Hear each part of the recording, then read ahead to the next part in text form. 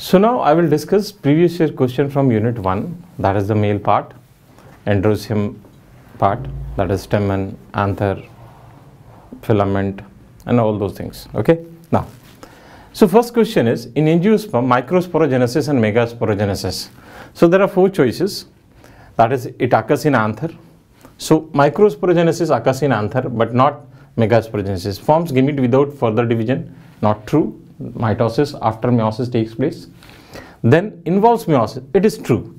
It involves meiosis. Let's see the four choice occurs ovule. It is not correct. It is true for megasporogenesis not. So answer will be third. Okay. So next question. Male gamete in angiosperm are formed by the division of.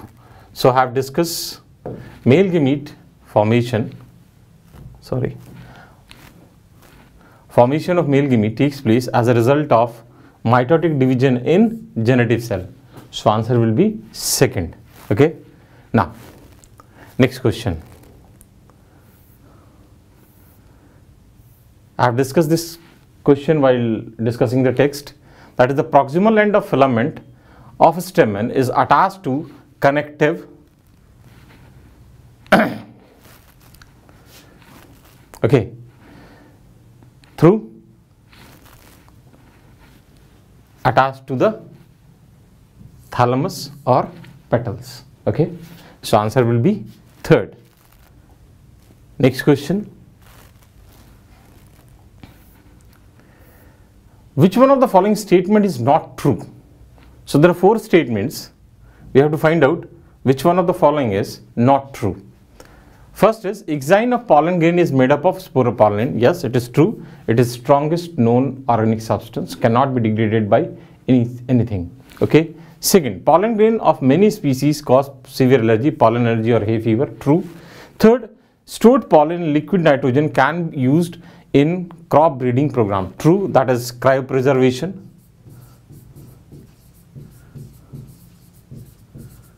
Then fourth one, tapetum helps in dehiscence that is not true. It is not dehiscence, it provides nutrition. So it is nutritive. So incorrect statement is fourth. So answer will be fourth. Okay. Now next question. Male gametophyte in angiosperm produces. So I have discussed this. Male gametophyte consists of three cells. That is one vegetative cell plus 2 male gamete which is produced as a result of mitotic division in generative cell.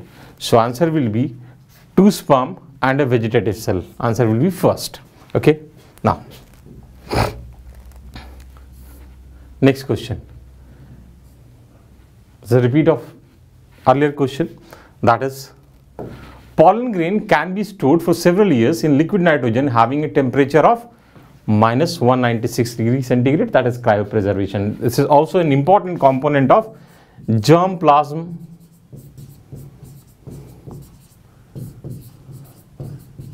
Conservation.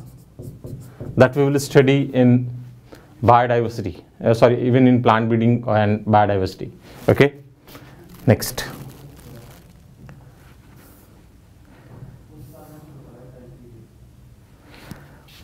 there are four question, uh, four statements and you have to find out which one is not true. It is very important to mark what this question is asking. So it is asking which statement is not true. First choice is pollen grain are rich in nutrient and they are used in the form of tablets and syrup. It is true. It is used for enhancing performance of racehorses and athletes. Second, pollen grain of some plants cause severe allergy and bronchial affliction. It is also true.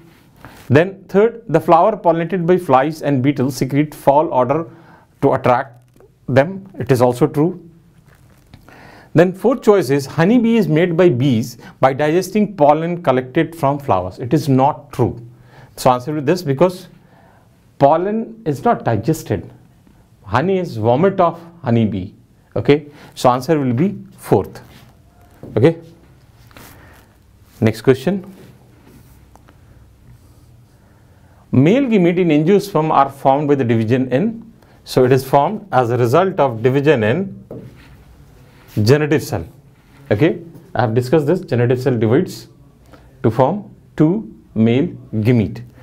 And it is very important to remember in most of the cases pollen is released at two celled stage. So in those cases when pollen lands on a stigmatic surface after pollination then generative cell will divide to form two male gamete. Next. Which one of the following is resistant to enzyme action? I have discussed this sporopollenin which makes this pollen exine. Okay.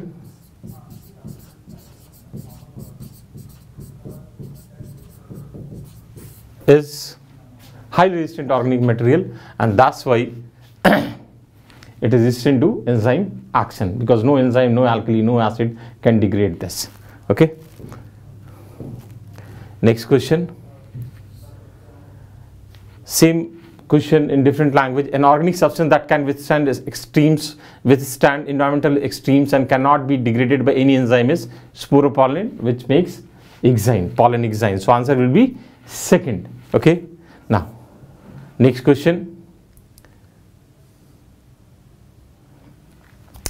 Which one of the following statement is correct? There are four statements. We, have, have, we have to find out which one is correct. First choice is sporogenous tissue is haploid. It is not correct. Sporogenous tissue acts as pollen mother cell and it is diploid. Second choice, endothecium produces the microspore. It is also not correct. Microspore is produced by pollen mother cell which is nothing but sporogenous tissue because potentially every cells of sporogenous tissue is pollen mother cell. Then tapetum releases the developing pollen. Okay, so it is correct. Fourth choice is hard outer layer of pollen is called intine. It is not correct. It is not intine. It is exine. So answer will be third. Okay. Next question. Which one of the following have proved helpful in preserving pollen in fossils? I have discussed this. This is because of the sporopollenin. It is highly. So what you are observing, this part is repeated several times. This question is repeated several times, which is related to pollen exine or sporopollenin. Okay, so that means it is very important from exam point of view. N number of time question have been asked from this. Okay, now next.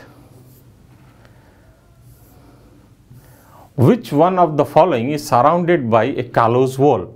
So while discussing the text of NCERT, it is not there in NCERT, but this question have been asked. I have told you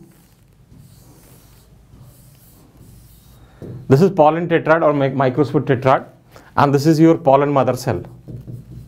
So this pollen mother cell or we also call it microspore mother cell. Now this microspore mother cell is surrounded by callose wall and these microspore are joined with the help of callose and this callose wall is degraded by enzyme callase which is produced by tapetum.